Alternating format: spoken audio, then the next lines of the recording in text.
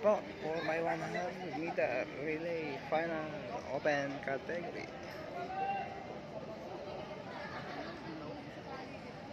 Nagpalit si Bani ng first runner ah.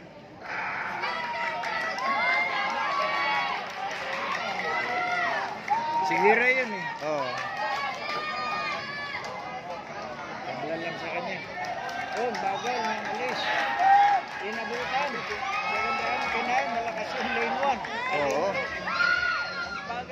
Sino ba yung na yun? Bagal.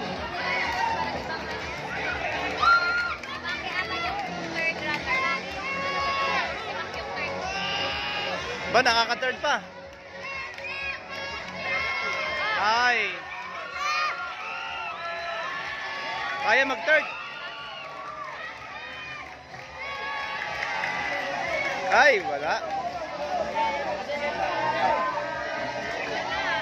Lubog yung second runner. Sino yun? Parang doon eh. Nagtinda yata yun ng mani doon eh.